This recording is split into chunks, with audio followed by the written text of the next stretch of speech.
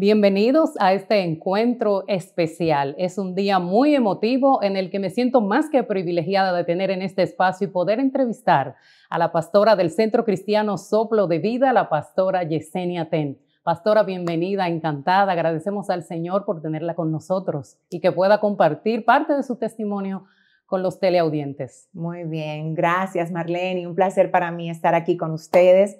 Es una oportunidad también de poder eh, conocer todo lo que Dios está haciendo de este lado y poder llevar la palabra de salvación, restauración y vida de Dios, que es lo que el Señor nos permite llevar en cada oportunidad que nos da. Vamos a ver cómo aprovechamos bien el tiempo, porque sabemos que tiene un testimonio impactante y bastante amplio.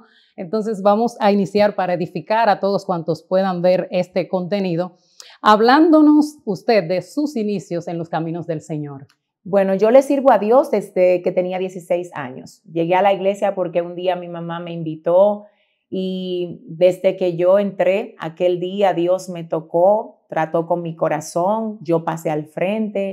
El Señor ese mismo día reveló a una persona que estaba allá en la iglesia, que parada llorando testificó aquel día que ella vio como de el predicador que estaba predicando Salió una luz más fuerte que el sol, en palabras de ella, que se depositaba en mí. Ella decía, hoy Dios me revela que lo mismo que este predicador tiene, también lo deposita en esta joven, que es la hija de la hermana Flor. La hermana Flor es mi mamá.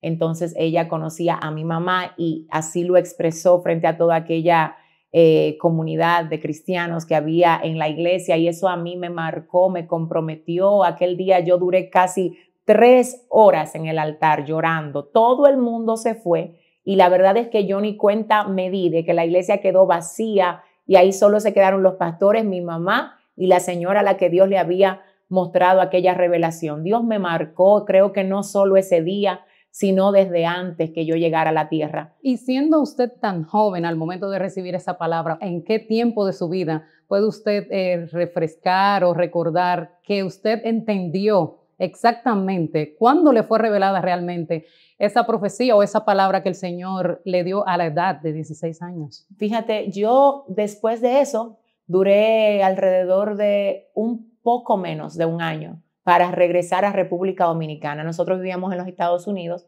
mami nos pidió, hizo residencia para mis hermanos, para mí, y luego de estar allá un tiempo, el Señor me vuelve a enviar a República Dominicana, al país donde yo nací. ¿En, qué parte del país usted nació? En San Francisco de Macorís, en la zona norte de República Dominicana. Allá volví, allá pues me casé, allá desarrollé mucho de lo que hoy Dios está usando. Hasta ese punto yo sabía que tenía la profecía, sentía el llamado de Dios en mi vida, pero la verdad es que yo no había exactamente visto, materializado eso que Dios me había depositado. Porque el hecho de que Dios te haya dado cosas no necesariamente significa que tú la vas a ver de una vez o que luego de una profecía que Dios te da que tu espíritu la recibe y la certifica, tú vas a ver materializado o revelado eso que Dios ha dicho.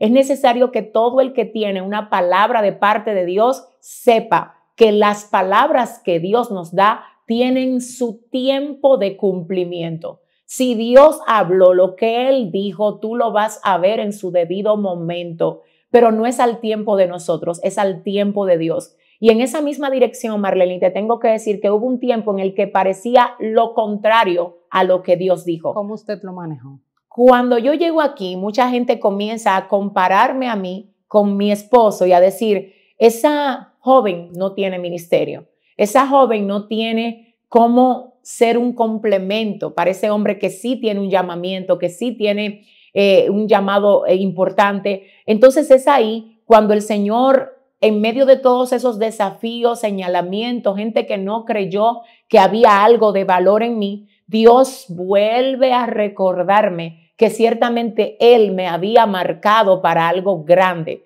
Entonces Dios pone en mí el sentir de comenzar a estudiar, a prepararme. Como yo había estudiado ya eh, parte de mis estudios en los Estados Unidos, cuando llego a República Dominicana, no me quisieron aprobar el bachillerato que yo había hecho en, en los Estados Unidos. Entonces yo tengo que venir aquí y recuerdo como ahora que lo que me hicieron hacer fue retroceder y tuve que volver a hacer el primero de bachillerato, segundo, tercero y cuarto. Entonces parecía atraso, pero era todo propósito de Dios para desarrollar en mí fluir, para que yo pudiera soltarme, como decimos, en, la manera como yo comunicar el mensaje. Simultáneo a esto, entonces comencé a estudiar la palabra de Dios intensamente y luego entonces comencé a servir primero a los niños, luego a los adolescentes. Trabajé en cosas que quizás mucha gente no quiere trabajar hoy en la iglesia porque entiende que quizás lo más importante es estar en el púlpito. Yo no comencé así. Pastora, ¿y esa pasión, o sea, se desprende únicamente de su intimidad con Dios, de una relación tan cercana con el Señor? ¿O usted puede decir si tenía algún, digamos, mentor, algún guía, o sea, su pastor, sus líderes que estaban constantemente con usted? ¿O esa pasión nace directamente con el mismo depósito del Señor en usted? yo te tengo que decir que a pesar de que siempre ha habido obviamente personas que de alguna manera motivan a uno, así como también hay personas que tratan de, de atacar tu identidad, lo que Dios ha puesto en ti, porque siempre hay quienes ayudan y siempre hay quienes quieren echar tierra al trabajo de Dios en nosotros. En mi vida pasó igual. Había personas que obviamente sí estaban ahí para de alguna manera darme cierto nivel de acompañamiento, pero el protagonismo absoluto de todo lo que yo pude soportar y superar en ese tiempo lo tiene el Espíritu Santo. Ahí yo desarrollé una amistad muy intensa con el Señor por medio de la oración. Yo quiero decir a todo el que está aquí, orar no es un acto de religión simplemente. Orar es tener una conversación con Dios. A través de la oración nosotros podemos afirmar nuestra amistad con el Señor. Y Marlene, en ese tiempo yo conocí a Dios como nunca en mi vida.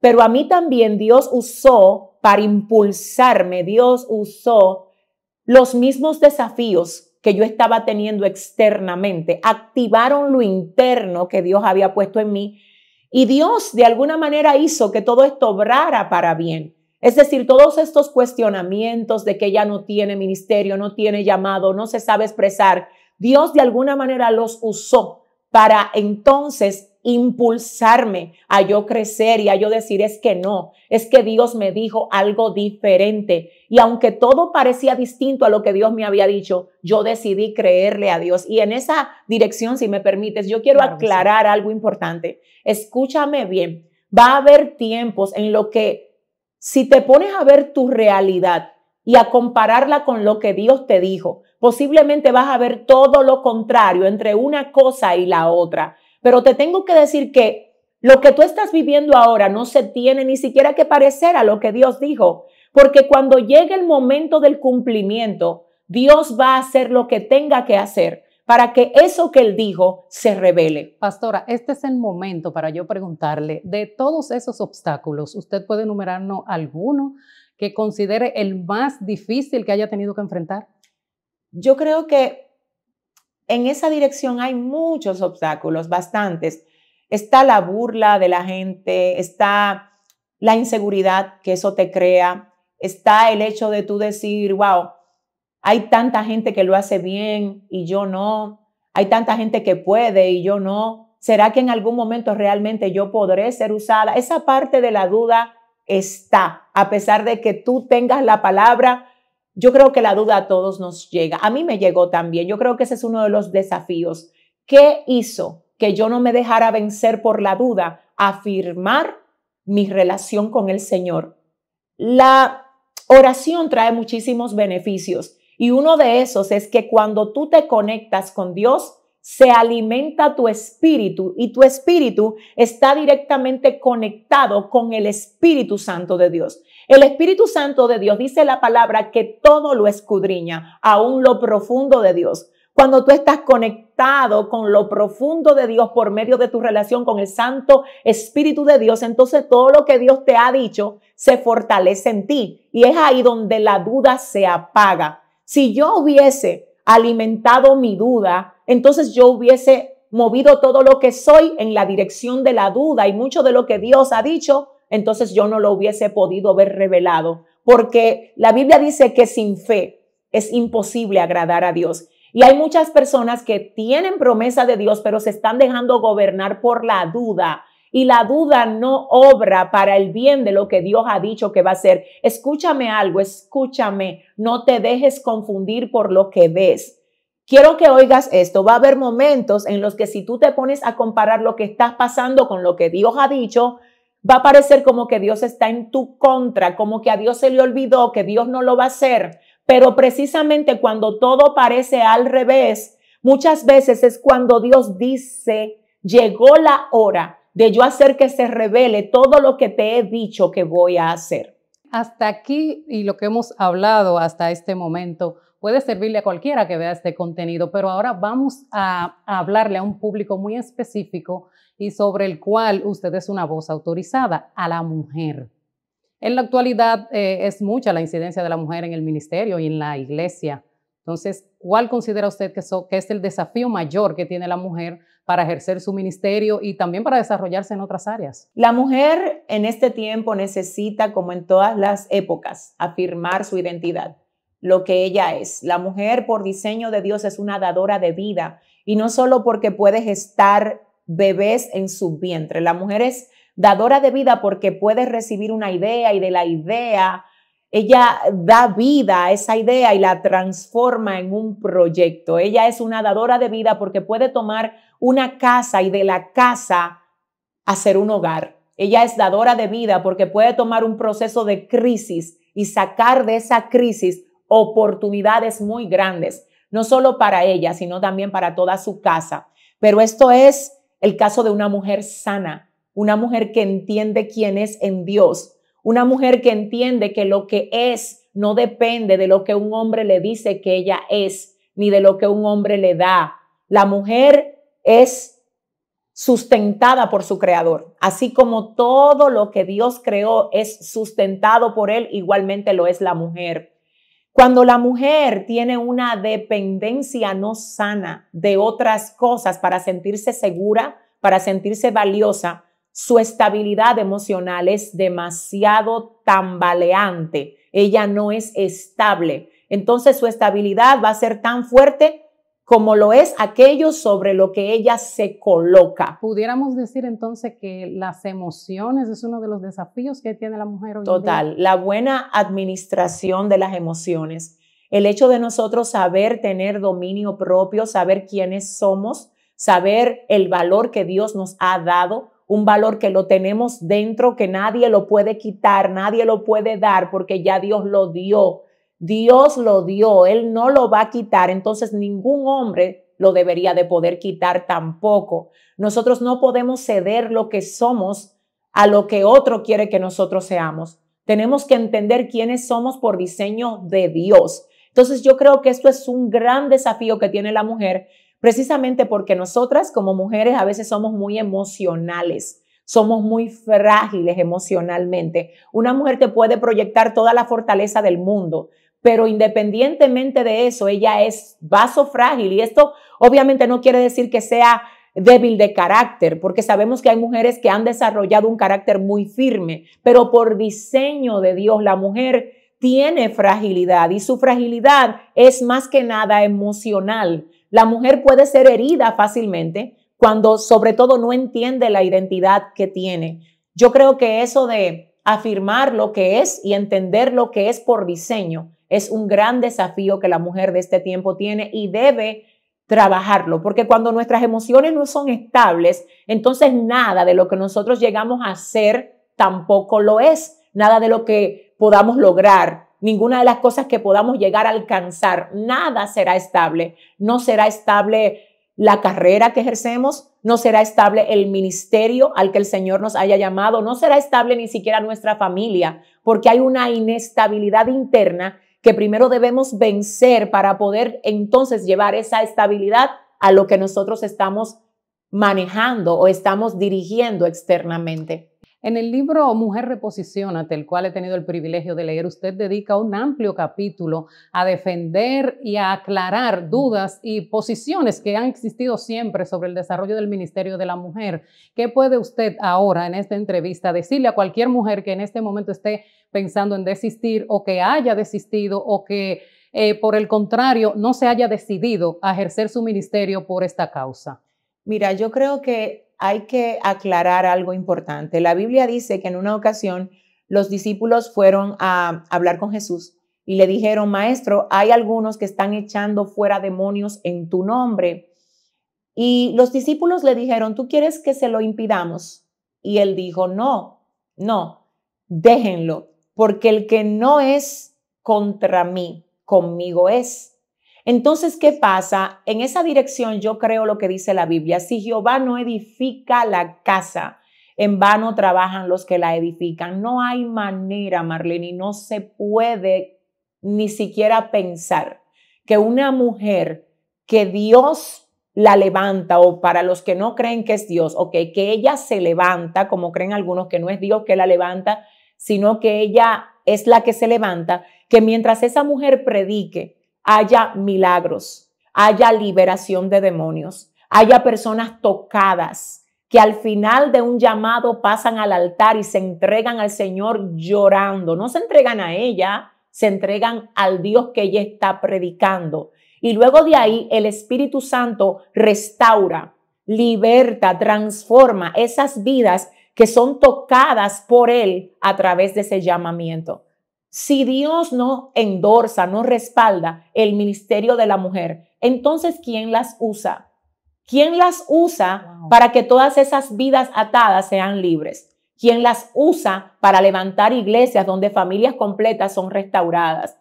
¿Quién las usa para llevar orden donde hay desorden? ¿Quién las usa para que ellas puedan llevar luz de Dios y respuesta de Dios a esos corazones sin esperanza. Tremenda pregunta. Si Jehová no edifica la casa, en vano trabajan los que la edifican.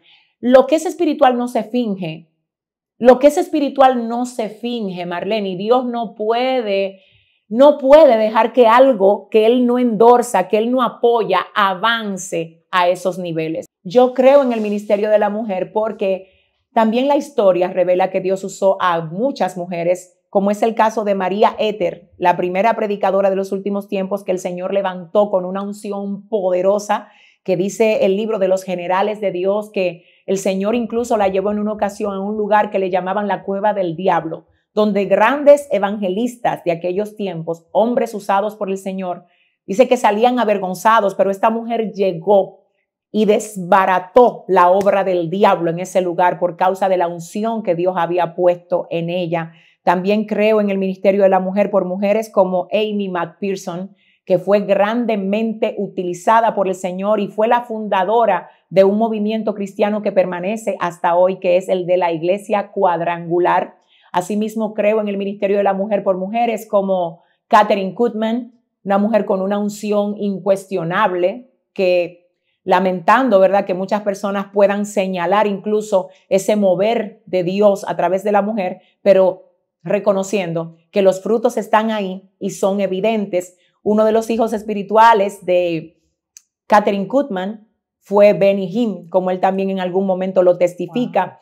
Y quiero que sepas, Marlene, que también en este tiempo Dios está levantando mujeres que está usando poderosamente y obviamente el que no lo quiera reconocer, el que lo quiera atacar, tiene que saber que está atacando algo que Dios está respaldando. Y a las mujeres les pido, por favor, por favor, no se dejen desenfocar de esto. No dejen que el hecho de que mucha gente esté de alguna manera cuestionando el hecho de que Dios pueda usarlas, haga que lo que Dios ha depositado en ustedes se estanque. Denle libertad a esa unción, a esa gracia, a ese llamamiento que el Señor les ha hecho, porque Dios siempre respalda lo que Él pone en cada una de nosotros. Pastora, ¿qué consejo usted puede darle a aquellos que han perdido la esperanza por causa de algún acontecimiento que les haya sucedido? Yo les aconsejo a todo el que está pasando por un momento de desesperanza, de luto, de trauma por algún golpe de la vida, que por favor Recuerde que a pesar de lo que ha perdido, hay algo que le queda. Que a pesar de lo difícil que pueda ser ese momento que está atravesando, las cosas pudieron haber sido peor. Que si esta palabra está llegando a ti es porque te queda vida y mientras nos queda vida hay algo que Dios puede hacer, aún con los pedazos que quedan de nosotros. La Biblia habla de un hombre llamado Job a quien Dios lo probó. Dios lo probó y Job lo perdió absolutamente todo. Pero Dios no dejó a Job en pérdida. Luego de Job haber pasado por ese proceso, Dios le multiplicó todo lo que él había perdido en otro tiempo. Pero lo interesante de esto es que Job no sabía todo lo que Dios se había dispuesto a hacer con su proceso.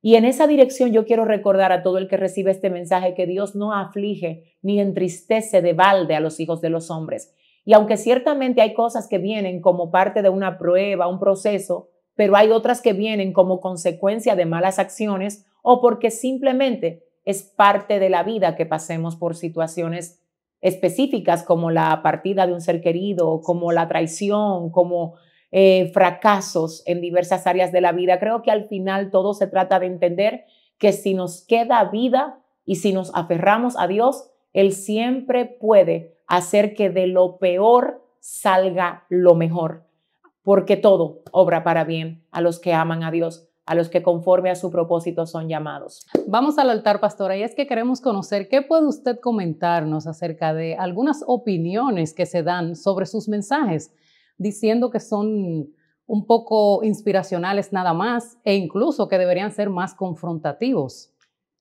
Bueno, en esa dirección yo te tengo que decir, Marlene, que cada mensaje que predico lo recibo de Dios. Y yo siempre he predicado lo que recibo de Dios y voy a seguir predicando eso. Todo lo que predico está basado en la palabra de Dios, pero respeto el diseño que el Señor me ha dado y no trato de modificar lo que Dios ha puesto en mí, la gracia, el modo como Dios me permite exponer la palabra, solo porque quiero convencer a alguien o quiero quizás ganarme la aceptación de esos que entienden que debo ser como ellos entienden que debo ser. Dios me hizo como Él entiende que yo debo ser y también me ha hecho predicar la palabra del modo como Él espera que yo lo haga. La Biblia dice que cada uno, según el don que ha recibido, debe ministrarlo a los demás como buenos administradores de la multiforme gracia de Dios.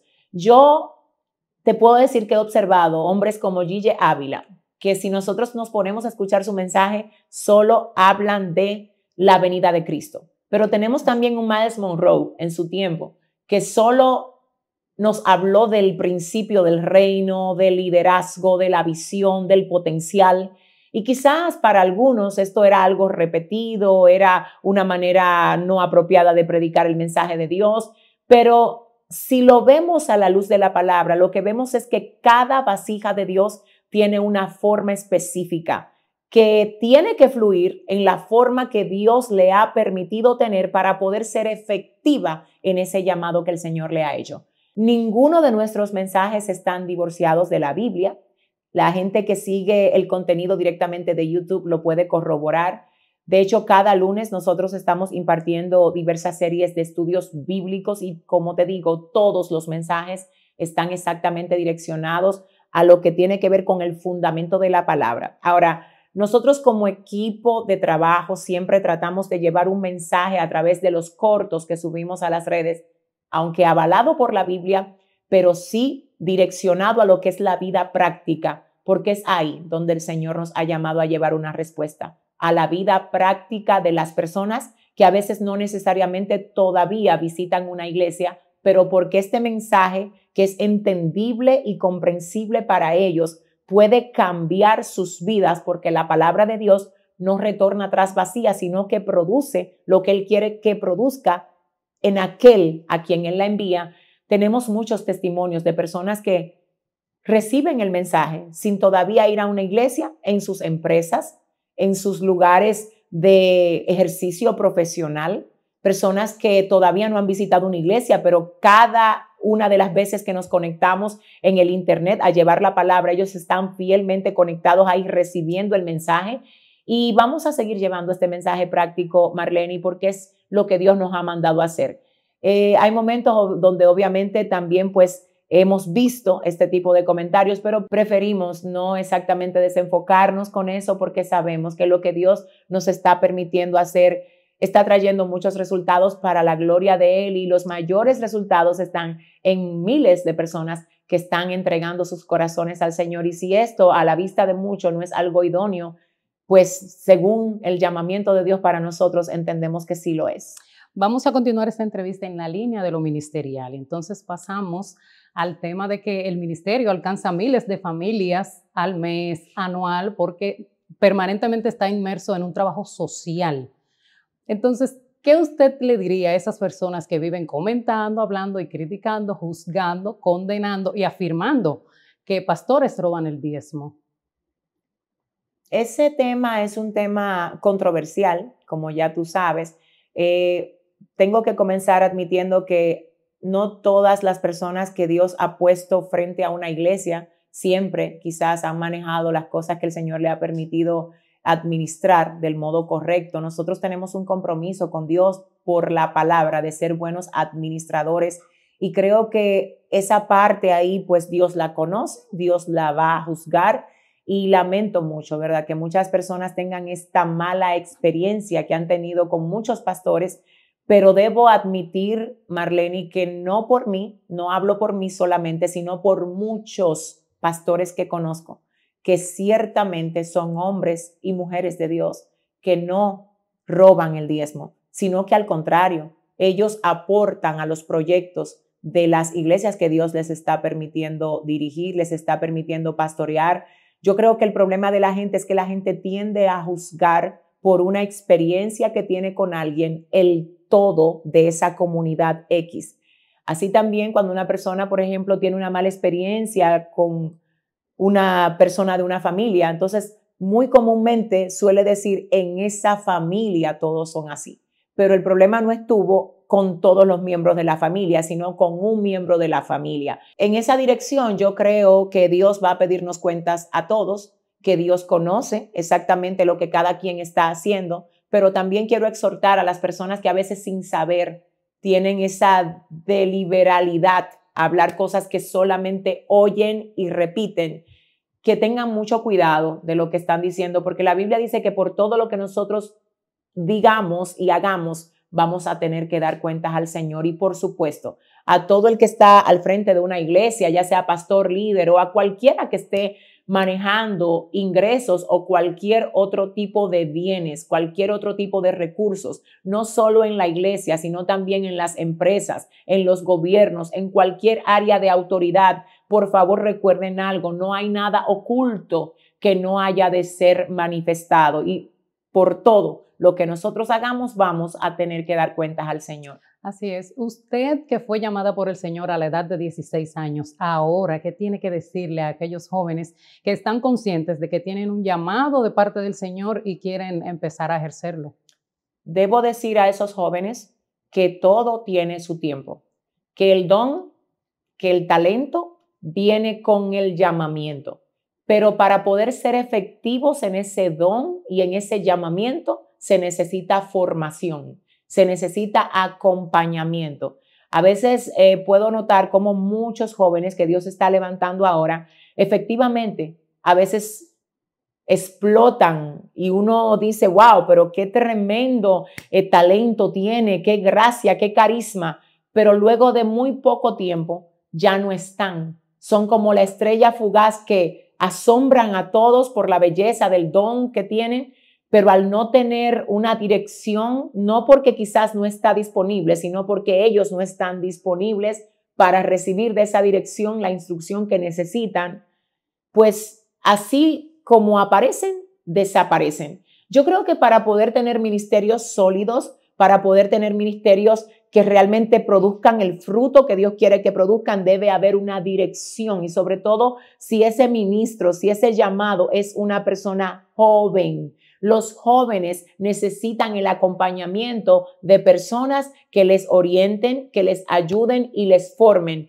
Asimismo, quiero aprovechar, Marlene, para animar a todos los pastores que están pastoreando y que ven que sus iglesias está compuesta de jóvenes que tienen llamado al ministerio. Por favor, pastores, apoyen a esos jóvenes. Vamos a hacer que ellos sientan que se les está dando el valor a lo que ellos traen, que se les está dando el debido acompañamiento, porque a veces no se sienten apoyados, Marlene. Y eso es lo que hace que ellos hagan las cosas a su manera o que se vayan por una ruta quizás eh, que en su momento, ¿verdad? Eh, deben transitar, pero quizás no ahora, no antes de tiempo. Yo creo que todo lo que se exhibe, se expone antes de tiempo, tiene la debilidad de la falta de desarrollo. Entonces, una persona que puede tener el llamado, pero no la madurez y el desarrollo, puede abortar lo que si desarrollaba podía ser fructífero y podía permanecer en el tiempo. Así que en conclusión, yo creo que los jóvenes deben dejarse guiar, deben esperar su tiempo y deben dejarse acompañar para ser formados y ser verdaderamente efectivos en ese llamado que el Señor les ha hecho. Pastora, viniendo de usted, nos gustaría conocer tres principios de vida que usted valora más. Yo valoro muchísimo la lealtad, valoro mucho el compromiso y también valoro la excelencia. De la lealtad, ¿qué nos pudiera decir? Yo creo que la lealtad, la verdadera lealtad, está basada en lo que es correcto.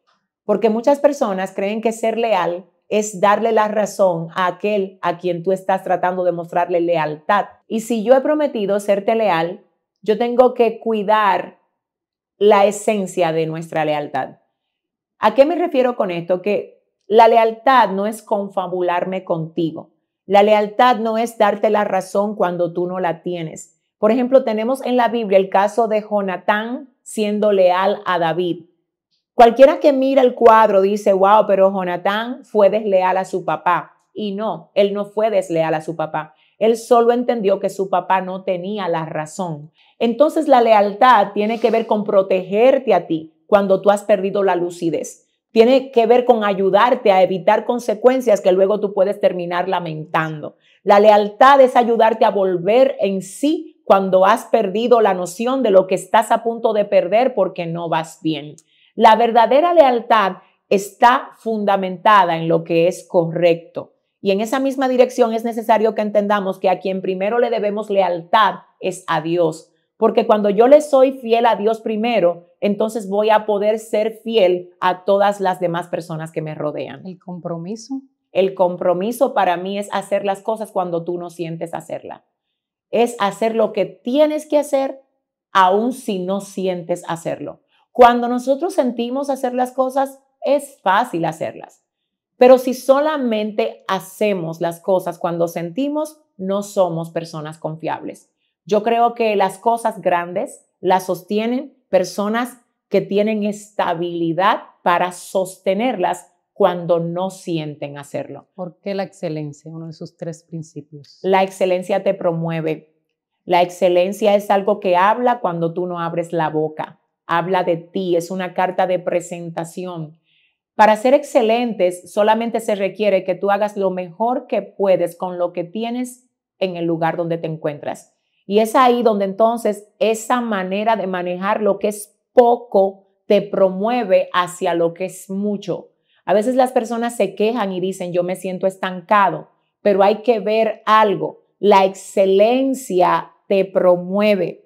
Y a veces la razón por la que la gente no está siendo excelente en la estación presente es porque siente que eso es muy pequeño para ellos y que ellos deberían estar en otro nivel. Pero la realidad es que bíblicamente, históricamente, la gente que ha llegado lejos no comenzó arriba, comenzó abajo. Llega un momento donde tú creces tanto en la estación donde está que la misma estación te saca y te tiene que mover a lo próximo. Lo vemos con David, lo vemos con José, lo vemos con otros cuadros de personajes bíblicos y creo que también Dios lo está haciendo con mucha gente que ha comprendido que si en lo poco eres fiel, en lo mucho Dios te va a poner. Si en lo poco eres excelente, esa excelencia te va a promover. La Biblia dice, ¿has visto hombre solícito en su trabajo? Delante de los reyes estará y no delante de gente común. Yo quiero ahora animar a toda esa gente que está ahí, que dice, yo no crezco, yo no avanzo, a mí no me promueven, a mí no me dan otras oportunidades. Escúchame bien lo que te voy a decir considera algo. ¿Hiciste todo lo que podías hacer en la oportunidad que estás teniendo ahora, en el lugar donde te encuentras ahora, en la posición en la que estás ahora? No reclames algo nuevo cuando todavía en el lugar donde te encuentras no has hecho todo lo que puedes y has crecido todo lo que puedes crecer. Yo creo que de eso se trata la excelencia, Marlene, de crecer desde el lugar donde nos encontramos, dando siempre lo mejor de nosotros en cada cosa que hagamos. Estamos muy agradecidos, pastora, de que haya tomado este tiempo para estar con nosotros y para ustedes deseamos que este contenido sea de gran edificación para sus vidas.